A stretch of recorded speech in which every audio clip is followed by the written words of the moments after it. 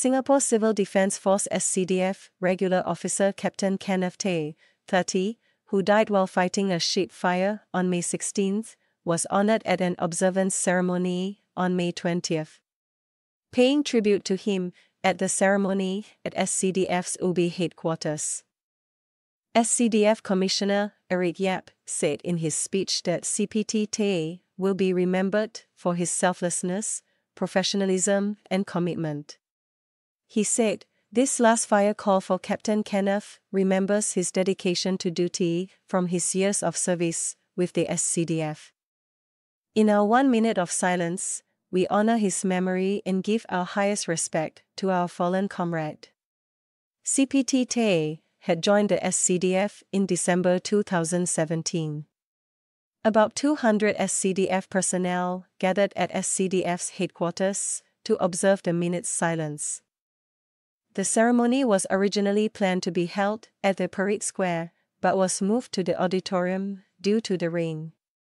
In remembrance of the late CPT Kenneth, an alarm rang at 7.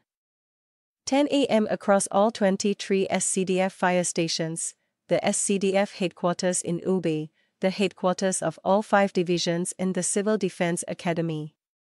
On May 16, CPT Tay was serving as a Marine Rota Commander at the West Coast Marine Fire Station when he lost consciousness while fighting a blaze on board China flag tanker Sheng Hanghua 6. The marine vessel was anchored at Raffles Reserve Anchorage in the southwest of Singapore. CPT Tay was pronounced dead at National University Hospital that day. Commissioner Yap said at the ceremony that CPT Tay was also a para counselor and career advocate in the SCDF. He said, This speaks volumes of his belief, passion, conviction, and ambition of the life saving force. Commissioner Yap added that the public depends on the SCDF and its officers like CPT Tay to help them in emergencies, which can be a matter of life and death. CPT Tay had studied nursing at the National University of Singapore after graduating from Catholic Junior College CJC in 2011. His professor at NUS told ST on May 17 that CPT had found his calling as a firefighter after graduating. CJC had said in a Facebook post on May 18 that CPT will be remembered for his highly positive attitude towards learning and for relating to his peers and teachers with kindness, sincerity, and respect.